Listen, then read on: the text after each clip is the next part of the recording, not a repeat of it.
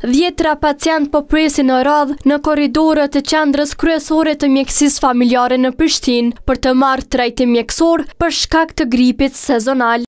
Përderisa rastet janë rritur dukshëm gjatë festave të fundvitit, kryeshefi i QKMF-së Valdet Hashani tha se vetëm për një ditë, shërbim mjekësor kanë ofruar për nëntëqind pacientë të prekur nga virozat stinore.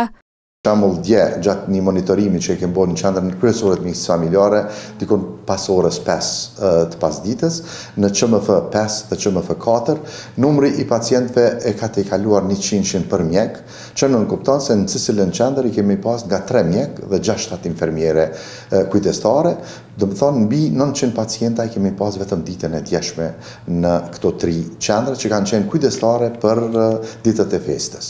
Numri i personelit shëndetësor e në veçanti i mjekëve është shumë i kufizuar.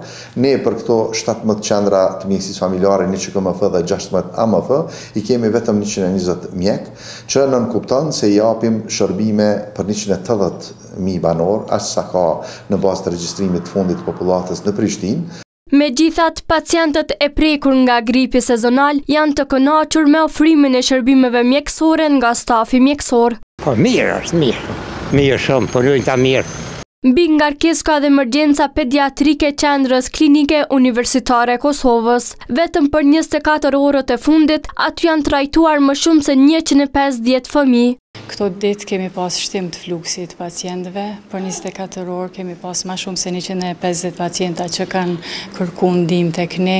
Edhe pse ekipi i televizionit ka tentuar të bisedojë dhe me disa prindër, ata prapa kamerës thonë se personeli shëndetësor po ofrojnë shërbime mjekësore maksimalisht.